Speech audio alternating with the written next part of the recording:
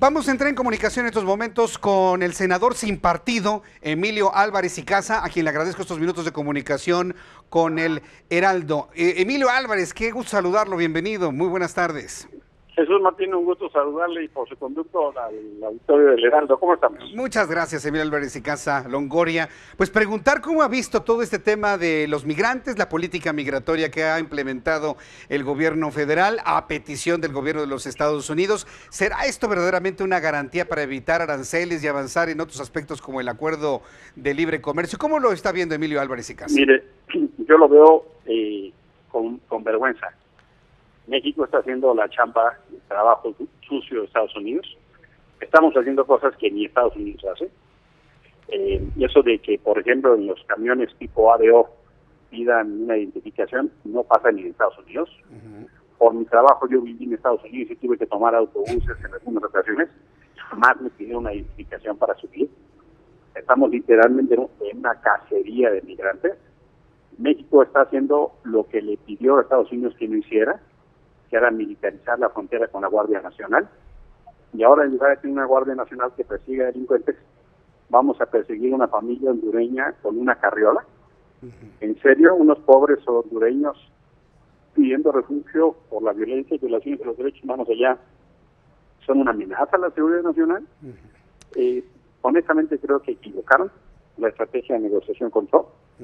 Me hago cargo que la dificultad, pero al chantaje y a la extorsión ceder así, pues lo único que hace es que la siguiente va a ser más cara Jesús Martín. Yo ah. honestamente no puedo acompañar esa política. Hoy, hoy es el Día Mundial del Refugiado y ojalá que México no cierre la puerta al refugio.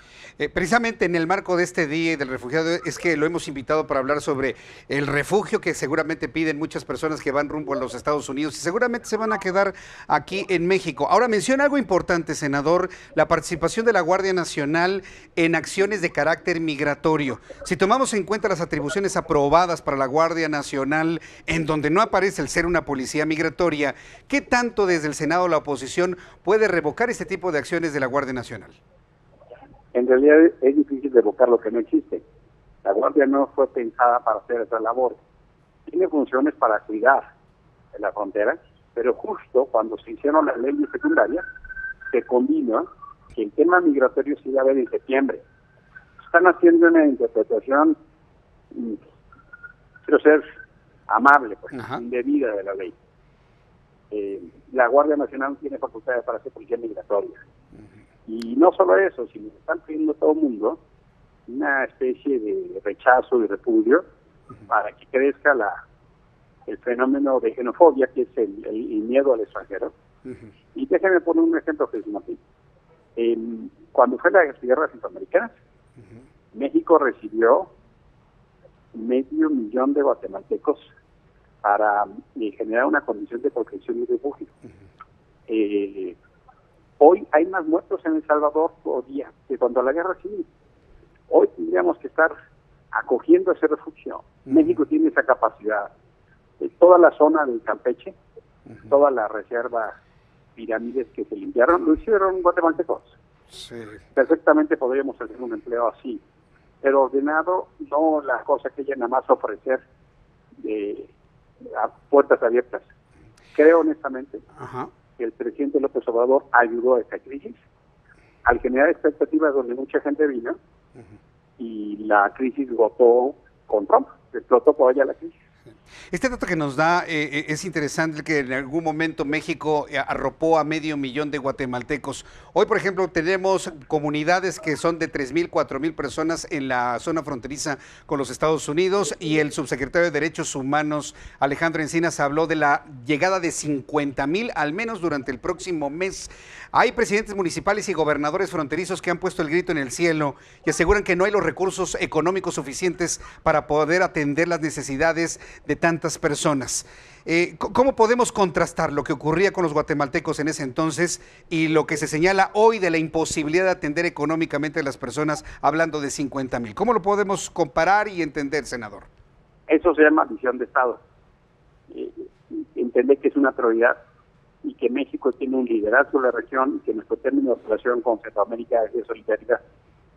Si Centroamérica nos ve como el, el muro de Trump, él mismo lo dijo, ahora el, Trump es más, el muro es más barato y más fuerte. Así lo dijo Trump. Sí, así lo dijo. Y no, y no le falta eh, razón cuando lo dice, porque estamos nosotros haciendo esa chamba. Eh, es un cambio radical Sí. a la política diplomática, migratoria de México. Y yo sí creo que México tiene los recursos. Hombre, somos 125 millones. Me hago cargo que en el país hay necesidades, me hago cargo. Pero hemos dado ejemplo mundial. Cumplimos 80 años del refugio español Sí. y hablamos todos de la maravilla del refugio español. Sí queremos a los españoles, pero los hondureños y guatemaltecos decimos que no. ¿Cómo así? En verdad, eh, Jesús Martín, yo apelo a quien nos escucha. La fórmula se llama solidaridad. No, no puede ser que estemos nosotros ahora haciendo la chamba sucia de los indios. Sí. No puede ser. Bueno, eh, eh, senador Emilio Álvarez y Casa, yo le agradezco mucho que me haya tomado la llamada telefónica en este marco del eh, Día del, del Refugiado. Pues vamos a estar muy atentos de las reacciones que se generen.